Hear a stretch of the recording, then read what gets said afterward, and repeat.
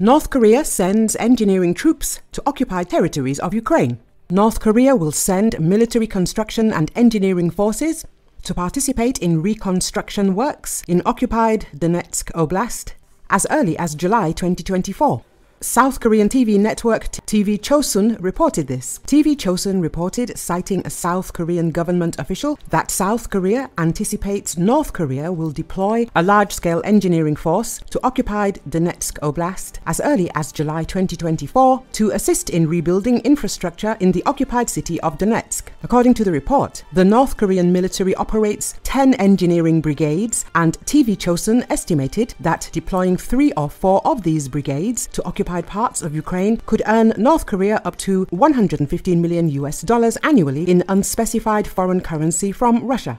The Institute for the Study of War pointed out that Russia seems to be fostering a coalition of friendly states with historically close ties to the Soviet Union, such as North Korea and Vietnam, to support the basis of an alternative world order. While the Institute for the Study of War has not seen any reports suggesting that North Korean military personnel intend to engage in combat operations in Ukraine, it did note that North Korean engineering support could allow Russian combat forces to focus on frontline operations and help expand military infrastructure and defensive fortifications in occupied parts of Ukraine.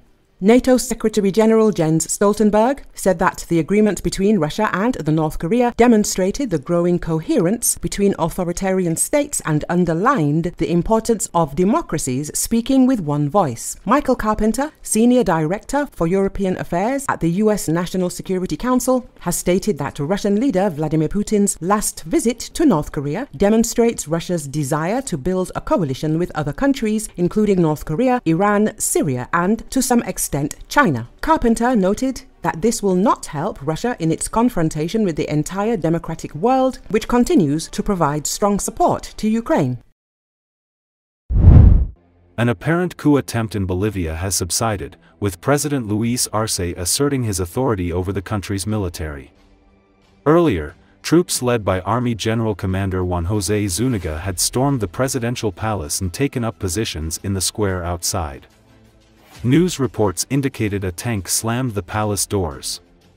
But within hours, Zuniga urged the soldiers to withdraw, after leaders from around the world blasted the army's actions as illegal.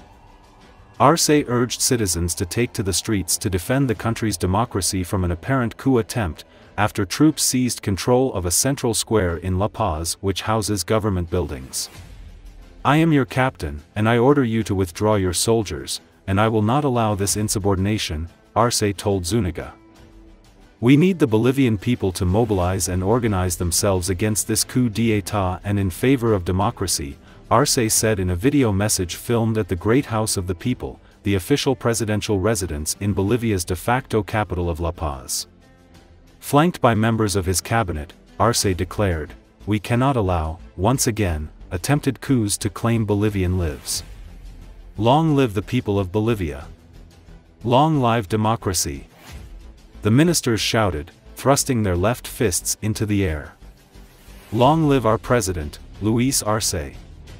Zuniga, who was dismissed as commander of the Bolivian army just a day earlier, was later detained and seen being forced into a police vehicle, according to local media.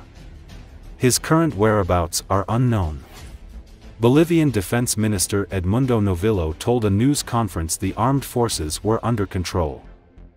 Bolivia's Attorney General's office said it has launched a criminal investigation against Zuniga and all the other participants involved in the incident.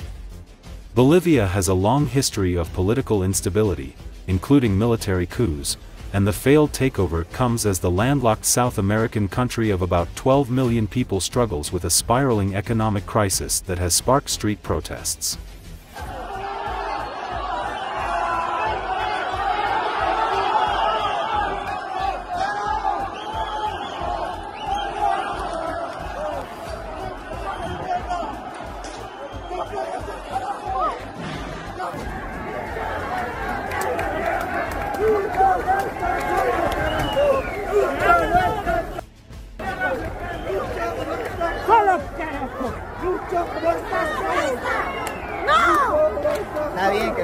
No estás solo. Puta facho de mierda. Solo.